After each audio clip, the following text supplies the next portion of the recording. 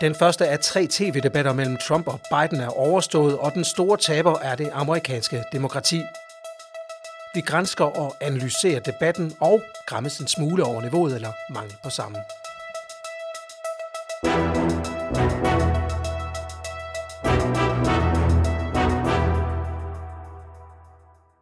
Velkommen til Kamp om Amerika. Mit navn er Lars Græsborg Mathiasen. Og jeg hedder Anders Agner.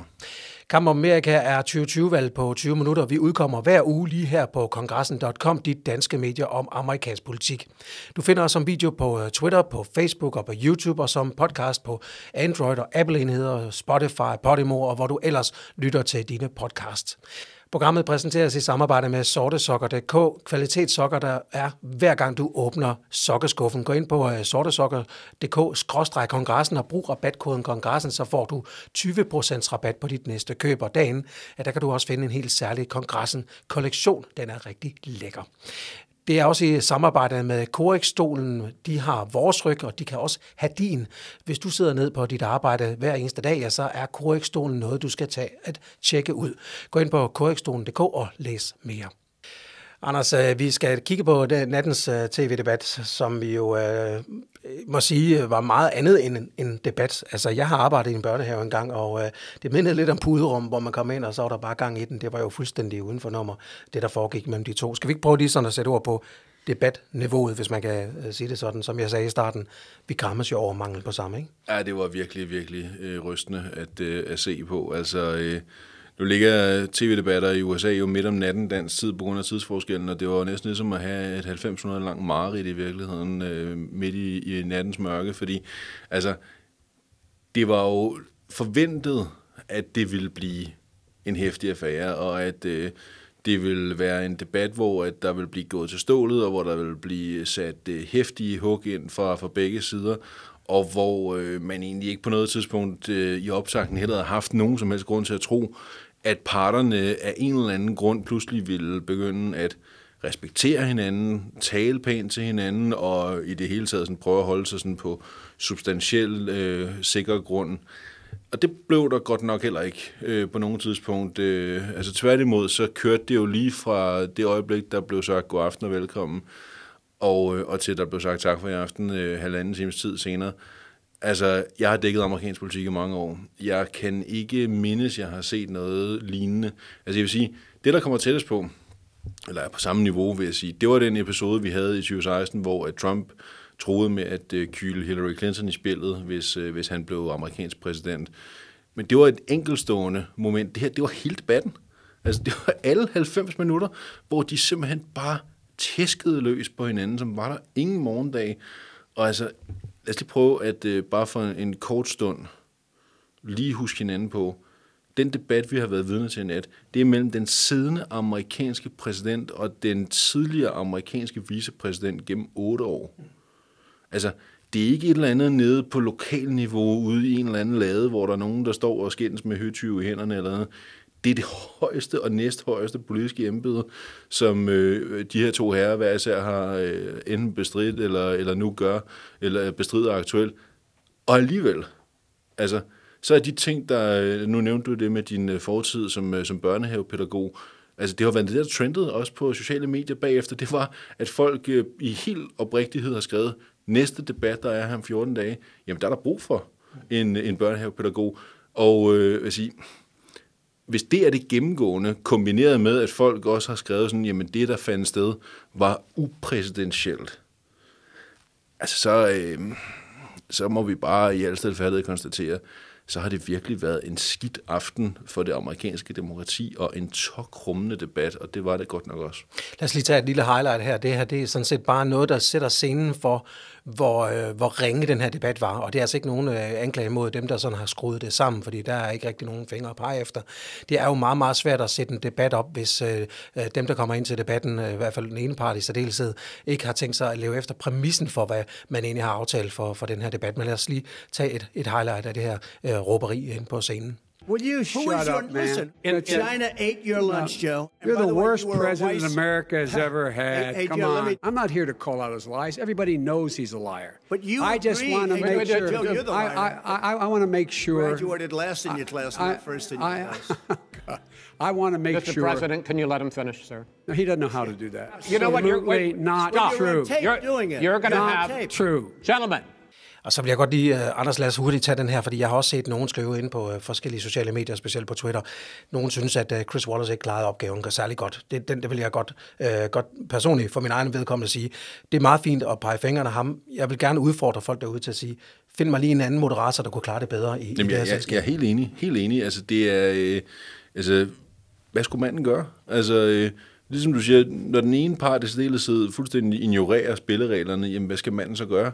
Øh, og øh, jeg er helt enig med, jeg synes, at øh, han klarede sig godt, han kunne, og jeg kan heller ikke se, hvem der skulle øh, kunne klare det bedre. Tværtimod, så synes jeg faktisk, at det er en ret central pointe, det der med at huske på, Chris Wallace kommer fra Fox News. Og øh, det er ikke ret mange uger siden, at han lavede det der øh, meget kritiske interview med, med præsident Trump øh, ude på terrassen øh, ved, øh, ved det hvide hus. Og netop fordi han kommer fra Fox News, modsat hvis han nu var en moderator fra ABC eller CBS eller et eller andet af den stil, jamen så havde det været nemmere for Trump også undervejs, når han blev forsøgt i rettesat, bare at feje legitimiteten af brættet ved at sige, at du er fake news, fordi du er fra et netværk, som øh, ikke vil mig det godt. Det kan han ikke med Chris Wallace, fordi Chris Wallace er fra Fox News. Og øh, altså, jeg, jeg har godt set den der med, at man har så travlt med at sige, at det var Chris Wallace, der tabte, og så videre. Det synes jeg er noget pjat. Altså, det altså, må jeg sige. Hvad jeg har læst, er, at Chris Wallace har brugt rigtig, rigtig, meget tid på at række ud til begge kandidaters øh, kampagner, for at sikre sig, at de vil være med på de her spilleregler. Specielt Trumps øh, kampagne for at lave den her aftale. Man hører ham også sige det flere gange. You, your campaign agreed to the playing rules. Altså, og, og det, har, det, var, det var så åbenbart en, en, Men en, en lad, strategi. lad os bare huske på, noget af det, vi også har set der bagefter trendet, altså udover det der med, at man synes, der er behov næste gang for en børnehavepædagog, og at det var upræsidentielt, det der foregik. Det, der ellers også er flest, der har været i, i altså, har talt omkring, øh, der bør gøres til næste gang, det er at give moderatoren mulighed for at slukke for mikrofonerne. Igen, altså bare lige to sekunder lige dvæle ved det. Vi diskuterer altså nu her på bagkant af den første debat mellem den siddende amerikanske præsident og den tidligere amerikanske vicepræsident, om det kunne gøre debatniveauet lidt bedre og lidt mere sammenhængende i formen, hvis man har mulighed for at slukke for, altså slukke for mikrofonerne. Primært fordi man egentlig har den opfattelse, at den siddende amerikanske præsident ikke kan finde ud af at øh, spille spillet inden for de regler, som hans hold selv har været med til at, øh, at godtage. Altså, lad os bare lige prøve at lege tanken to sekunder. At øh, man forud for, man for eksempel forberedte øh, tv-debatten i sin tid mellem John F. Kennedy og Richard Nixon, øh, efter man så havde kørt den første, siger, nå, ja, øh, det vil nok være meget godt, hvis vi til øh, debat nummer to giver muligheden for, at moderatoren kan slukke, fordi vi er ikke helt sikre på, at Kennedy han spiller inden for reglerne. Det er ikke sikkert, at han kan finde ud af at tale pænt, øh, og det er ikke sikkert, at han kan finde ud af at lade være med at afbryde Richard Nixon. Altså, det- folk kan jo øh, sidde og og øh, nærmest, det er jo fuldstændig vanvittigt at forestille sig. Det har aldrig nogensinde været et problem før. Altså, det har altid været øh, altså, friske dueller, der er blevet gået til makronerne og så videre. Det skal der også, og de politiske uenigheder er blevet, øh, blevet meget, meget tydelige undervejs i løbet af de her aftener, som de her tv-debatter har fundet sted. Men aldrig på den måde, som vi, vi ser det nu. Øh, og altså for mig at se, så er det altså også bare et, øh, et udtryk for et... Øh, et så betændt øh, debatklima i det politiske Amerika, at, øh, at det virkelig er øh, dybt bekymrende. Det må jeg sige. Ja, jeg kan ikke uh, være mere enig. Og uh, altså, uh, selvom vi to en gang imellem godt kan sidde og diskutere frem og tilbage, så ville jeg jo aldrig ønske, at jeg havde en mute-knap her. Det ville jo være uh, underligt, at man skulle, uh, at man skulle virkelig Det, ned på det, det, niveau. det, er, det er jeg glad for. Det- Det, det, det glæder mig. Det glæder mig dog. Og det kommer der heller ikke bare roligt. Vi skal kunne, altså trods alt har vi nogle spilleregler her. Men, men, men hvis vi lige prøver at gå ned i den såkaldte substans, altså jeg bliver ved med at bruge de her øh, situationstegn, det, det, det, det er jo sådan øh, med en sandhed med modifikationer, fordi der var jo ikke særlig meget substans i den her, men der var der trods alt, der var tydeligvis en, en strategi fra Trumps side at gå mega hårdt til, til Biden fra start. Og jeg har læst en, øh, en, en stammer, som skriver en, en, øh, en, meget fin øh, blog, der skrev, det er helt bevidst for Trumps strategi at ryste Biden, fordi han er jo tidligere stammer. Det gør, at han, han kommer til at se usikker ud, og de første 20 minutter så Biden jo også relativt usikker ud, og, og så på den måde lykkes den strategi. Men hvis du sådan kigger på, hvem der sandsynligvis havde en strategi for den her debat. Hvem havde så den bedste strategi, hvis det skal øh, sådan summeres op på den måde? Altså, hvis den, der vil i hvert fald slappe bedst fra øh, sin strategi, øh, og det er ikke nogen stor øh, sejr, men jeg synes måske alligevel, at det, det er Joe Biden, der gør det bedst, fordi Trumps strategi, som du selv er inde på her med, at øh, prøve at bringe ham ud af fatning hele tiden, altså hele tiden afbryde ham, hele tiden tiger ham, hele tiden provokere ham, altså det er rigtigt, det, det gjorde ham lidt, øh, lidt usikker i, øh, i de første kvarter 20 minutter af debatten, men, øh, men den var 90 minutter, og øh, det lykkedes faktisk øh, resten af tiden for, for Biden, også som, det synes jeg faktisk også, det gjorde i starten, selvom han var tydeligvis var lidt, øh, lidt rystet. Øh, så lykkedes det ham jo faktisk at øh, holde hovedet koldt. Det lykkedes ham øh, på lange stræk at øh, ignorere alle Trumps øh, mange angreb og mange provokationer, og det var nok øh, en streg regning for Trump, fordi han har tydeligvis tænkt, hvis bare jeg giver den nok gas, hvis jeg bare går hårdt nok efter struben, hvis bare jeg virkelig, virkelig syger ham, jamen, så skal det også nok ende med, at filmen knækker hos ham. Og det gjorde den ikke. Ja, undskyld. Nå, jamen, så, så, ja, så, så en sejr for, for Biden var, at han ikke tabte. Jamen, det kan du, ja, sådan kan du faktisk også sige det. Og jeg synes så måske, det der er interessant, og grund til, at jeg nævnte før, at jeg synes alligevel måske, at de to, der var på scenen, den, der måske slap bedst for sin strategi, var, var Joe Biden. Så er det fordi, Biden har tydeligvis øh, lagt en plan, inden han gik ind i arenaen mod Trump, der hedder, vi skal snakke corona. Vi skal snakke coronabekæmpelse, vi skal snakke om øh, troværdighed som følge af corona, vi skal snakke om dødstal som følge af corona, vi skal snakke om arbejdsløshed på grund af corona, vi skal snakke om øh, økonomisk øh, nedsmeltning på grund af corona, og det skal hele tiden peges i retning af, at det er Trumps skyld. Og det synes jeg faktisk, øh, han slap rimelig pænt afsted med. Altså, øh, det var i hvert fald der, hvor Biden var stærkest. Det var, når han øh, fik lov at snakke om corona, og fik lov til, at, øh, som han jo gjorde flere gange, at stille det der ret relevante spørgsmål ud til, til amerikanerne, der hedder, synes I selv, I har det bedre nu, end for fire år siden? Og det øh, var jo sin tid Ronald Reagan, der øh, tog den øh, one-liner til perfektion, øh, men bare med omvendt fortegn, hvor han sagde, hvorfor skulle vi dog gå tilbage til, hvor vi var for fire år siden? Og nu er det så, at øh, Biden han siger, jamen, synes I selv, det er gået godt i de her fire år, eller, og har I lyst til fire år mere med det her, eller skulle vi måske prøve at gøre tingene på en anden façon?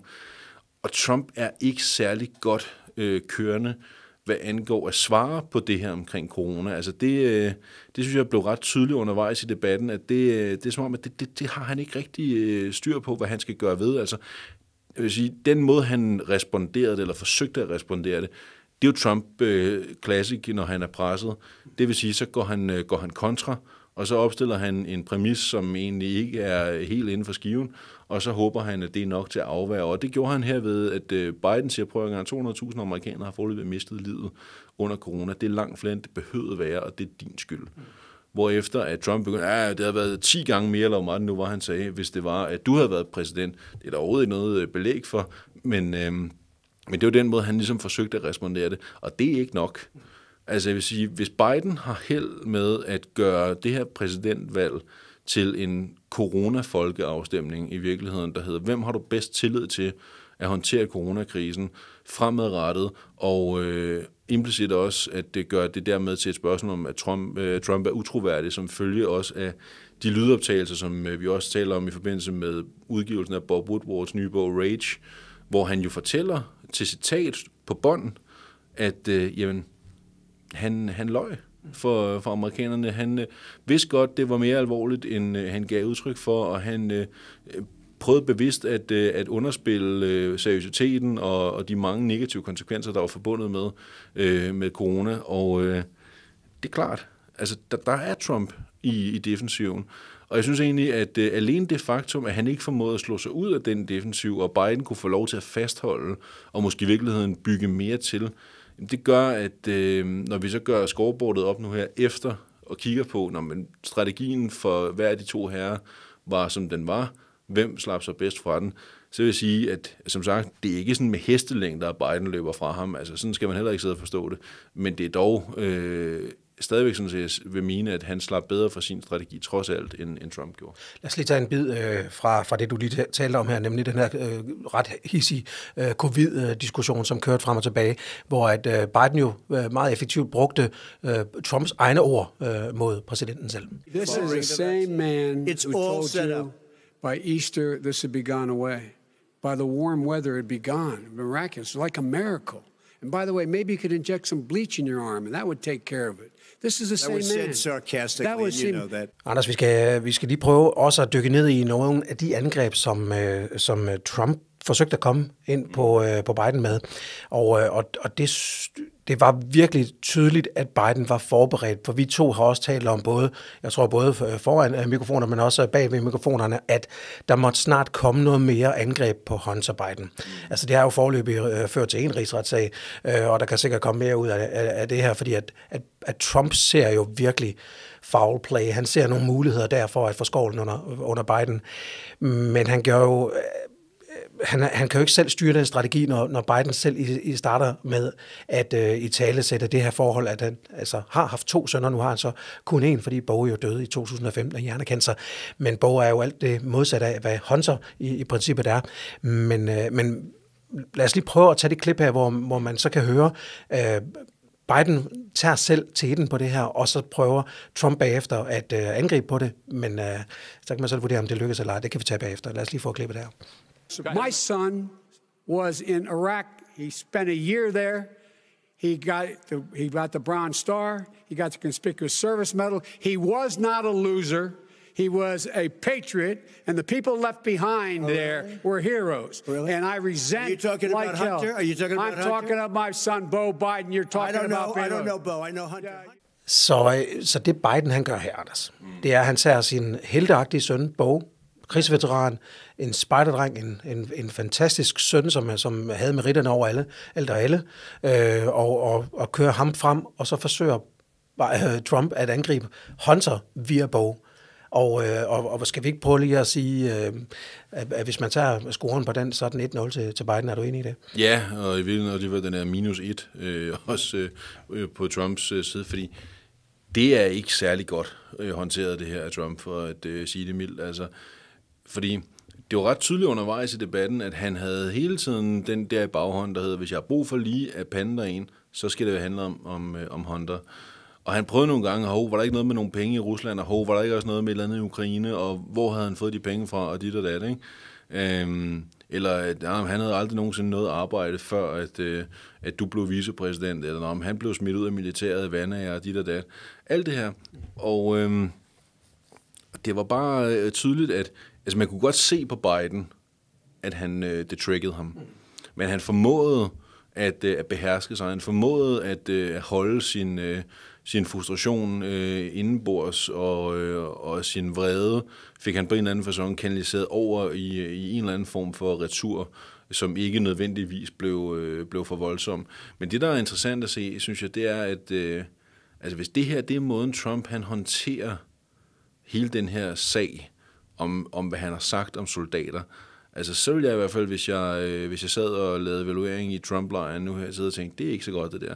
Fordi lad os bare lige huske på, Lars, Trump har i en del uger nu haft en rigtig møgssag kørende, der handler om, at han i The Atlantic er blevet citeret for at skulle have sagt, at han ikke gad flyve ud på øh, invasionskirkegården i Normandiet i, øh, i Frankrig. Stedet, hvor at øh, alle de øh, faldende amerikanske soldater i forbindelse med, øh, med D-dag øh, ligger, nu ligger begravet. Og øh, det gad han ikke, øh, fordi han øh, ifølge The Atlantic synes, at det der, øh, de mennesker, der var begravet derude, var øh, suckers and losers, øh, altså fjolser og tabere. Og øh, altså, udover at, øh, at det jo simpelthen er altså, ubegribeligt, hvordan han kan finde på at sige sådan noget, så må man også bare sige, at øh, når man gerne vil være altså militærets mand, når man gerne vil være ham, der hele tiden står og siger, jeg gør så meget for veteranerne osv., så er det her altså en møgssag at have kørende. Og han har ikke på noget tidspunkt, siden den kom, jo, han prøver at sige, at det er fake news osv., men den kører videre, og den har fået fat derude nu, og han har ikke evnet at lukke den ned. Og jeg vil sige, når det vi så så lige før med, øh, med Joe Biden og, øh, og Bo Biden som, øh, som krigshelt og så videre, og han ikke kan komme med andet end, nå, jeg troede, du snakkede om Hunter, og han ved udmærket godt, at det ikke øh, handler om Hunter. Det vil sige, jeg synes ikke, jeg så noget i den her debat i nat, hvor at jeg bagefter tænkte omkring det her med Trump og den her møgssag med, øh, med, med militæret. Jeg så ikke noget, der på en eller anden måde afvæbnede den flanke fra Trumps side. Tværtimod, så synes jeg, at den måde, han agerede, mest af alt lignede, at man tænkte sådan, ja, jamen, den er da nok god nok, det har han da sikkert sagt. Øh, også fordi det er jo ikke første gang, han har talt grimt om, øh, om øh, soldater og, og krigsveteraner. Altså prøv at, at øh, tænke tilbage på, at han i sin tid øh, langede voldsomt ud efter John McCain og sagde, at han synes ikke, han var en rigtig øh, krigsheld, fordi at, øh, han havde været taget til fange, øh, og han kunne bedre lide de krigshelte, som ikke havde været taget til fange.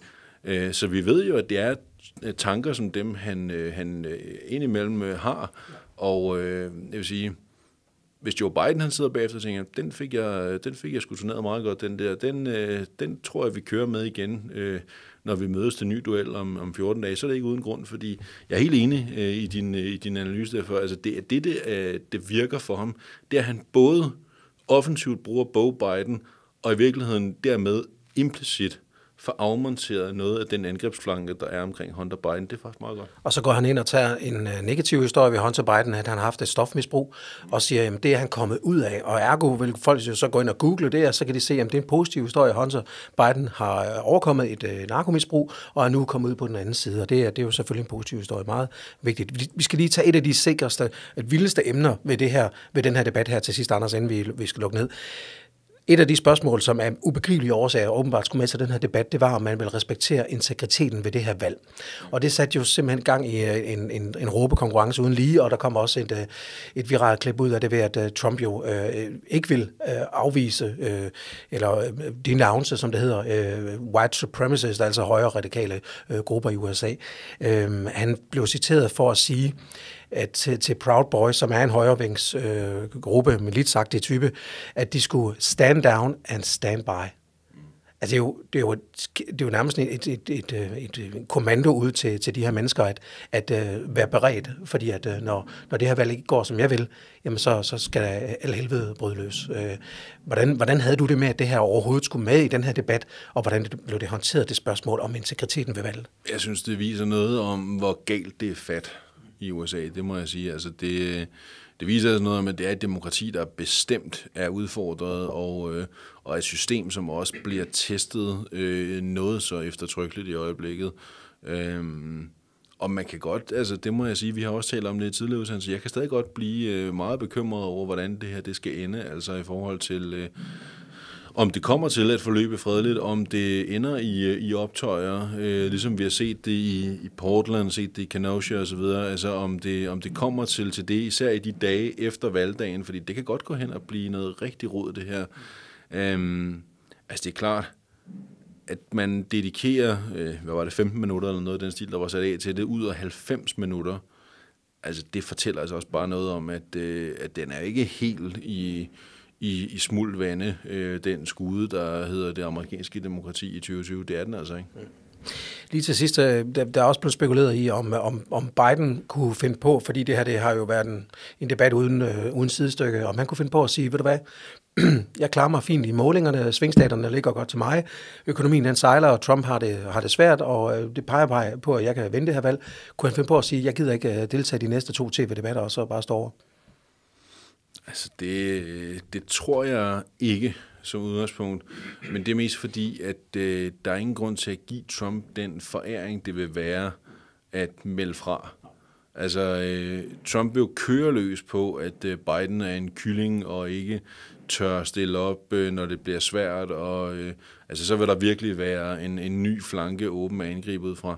Men man kan jo så godt sidde, altså, når man som du og jeg har... Øh, haft en øh, relativt begrænset fornøjelse af at sidde og se på det her slagsmål i nat øh, i næsten øh, mere end halvanden time, så kan man da godt sidde og tænke, jamen, hvad, skal det så, hvad, hvad, hvad er det egentlig, de skal næste gang? Altså, bliver det ikke bare øh, repeat øh, på lange stræk? Og jo, det gør det. Jeg vil så gætte på, det skal vi selvfølgelig snakke om, når, når debatten kommer øh, om et par uger her i slutningen af, af skolernes efterårsferie. Øh, mit gæt vil være, at øh, når de hver især kigger ned nu på, på debatten, de har deltaget i nu, og øh, evaluerer, så vil mit bud være, at øh, i Biden-lejren, der vil man så tænke, det gik fint med at øh, holde hovedet koldt. Øh, det lykkedes stort set at øh, ignorere alle hans mange afbrydelser og alle hans angreb. Nu ved du jo hvordan han virker, nu ved du også, hvordan du selv reagerer på ham. Det er godt øh, for dig at vide, fordi det gør også, at du kan forberede dig endnu bedre. Corona, det kører vi med. Der er vi gode. Øh, vi skal også øh, sørge for hele tiden at have bog øh, med i baghånden, når vi skal øh, øh have noget med Honda at gøre. Og øh, så ellers bare øh, tale til vælgerne og ignorere øh, Trump, sådan som han gjorde det. Så er vi på rimelig sikker grund. Omvendt vil jeg så sige, hvis man sidder over i Trump-lejren og nu laver evaluering og tænker, hvad gør vi næste gang? Jamen så er det meget simpelt. Den fik ikke nok gas. Det, det var ikke nok. Altså, øh, det var ikke et stort nok bat, vi havde taget med ind på scenen. Så må vi finde noget, der er endnu større, fordi det skal lykkes. Altså, han fik ikke slået ham tilpas ud af kurs. Han fik ikke trigget ham på en sådan måde, så han eksploderede eller gjorde et eller andet, som øh, man bagefter kunne bruge imod ham. Det gjorde det ikke. Og altså, derfor øh, gør jeg mig heller ingen forventninger om, at, øh, at det bliver pænere at se på. Tværtimod, altså, det burde ikke være muligt, men jeg tror faktisk, det bliver endnu grimmere øh, næste gang, fordi at, ja, og så kan man nærmest sidde og tænke, hvordan i himlens navn skal det dog være muligt. Det tror jeg faktisk, det bliver, fordi, prøv at tænke på nu, nu er vi lidt over en måned fra valgdagen.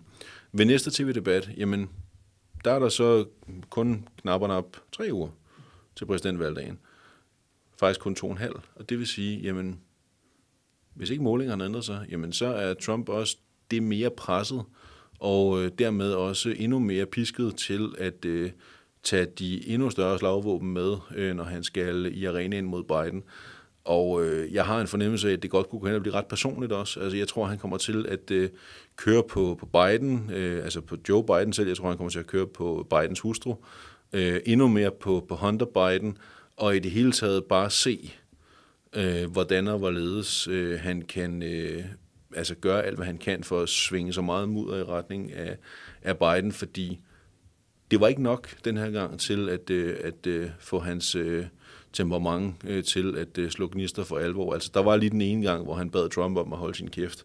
Men øh, ellers, øh, så øh, ja, altså kaldte han en klovn på et tidspunkt også, ikke? Øh, men altså, det, det er jo i, i løbet af 90 minutters øh, non-stop mundhuggeri, er det ikke så meget jo. Øh, Øh, derfor tror jeg, der kommer meget mere. Så øh, den nedslående slutbemærkning herfra er, at det er noget af det værste, jeg nogensinde har set, og min forventning er, at om øh, to års penge, når de mødes igen, så bliver det endnu værre. Og så kan man jo dermed også øh, forstå, hvorfor at øh, Google Search på øh, How to Move to Canada eksploderede under debatterne øh, her i nat således opmuntret. Vi skal øh, til at slutte af. Øh, blive en lille smule længere, end vi plejer at være. Jeg håber, I bærer over med os og også er med i næste uge, når vi er tilbage med Kamp om Amerika her fra kongressen.com. Del os gerne der, hvor du lytter eller ser os. Giv den øh, videre over til naboen, over til dem, der synes, at amerikansk politik er spændende, eller i hvert fald gerne vil dykke ned i det. Ja, så prøver vi altså at gøre det så godt vi kan herfra.